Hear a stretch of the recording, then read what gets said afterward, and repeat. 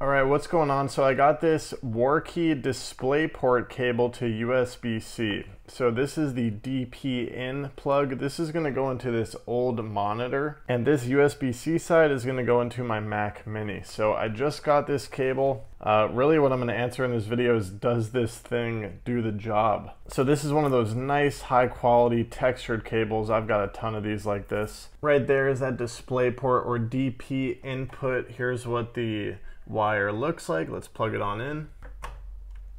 All right, good to go. And then let's put the USB-C into my Mac Mini and see if this thing works. All right, let's see. Boom, okay.